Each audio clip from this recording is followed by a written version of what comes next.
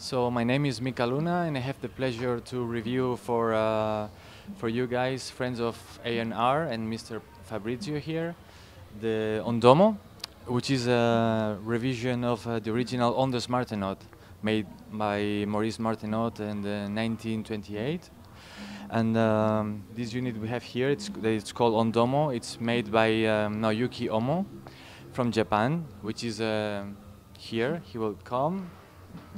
This is Master Naoyuki Omo, designer and luthier from this beautiful instrument. Actually, this unit is a 100 um, limited edition, handmade everything. Um, and that's it. I'm gonna show you a little bit the three basic features that it has, and it makes it um, very special actually. So first is um, the touch button, which is this button. Um, is to control the volume. The more you press it, the louder volume you get, and you can play long or spiccato notes like uh, this.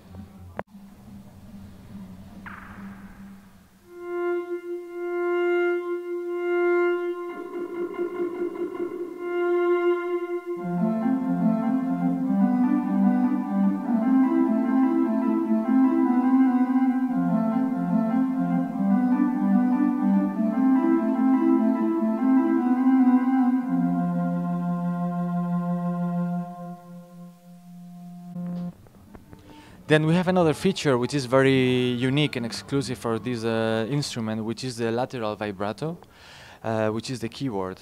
Uh, I'm going to show you now.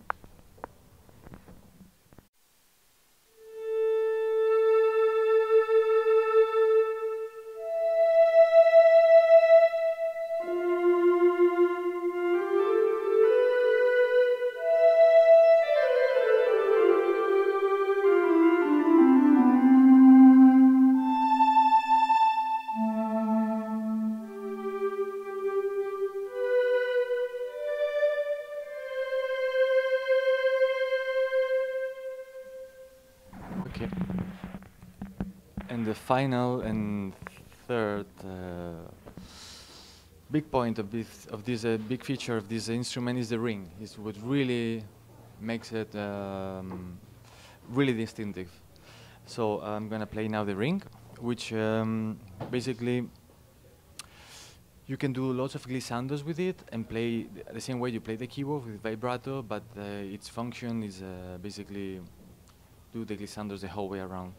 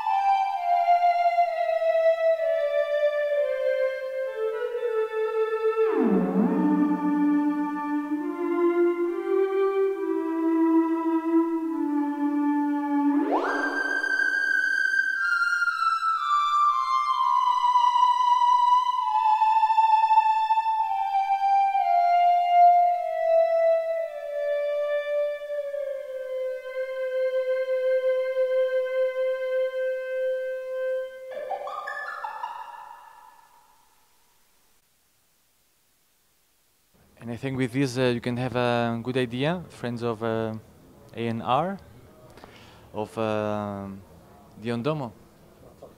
Yes, actually the price of the units are uh, 2,000 euros plus taxes, depending of which country you are purchasing the unit.